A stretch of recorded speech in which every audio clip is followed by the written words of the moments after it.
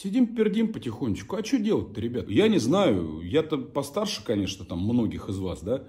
Но вот у нас э, туалет был на улице. Вот у бабушки. Мы ходили на улицу в туалет.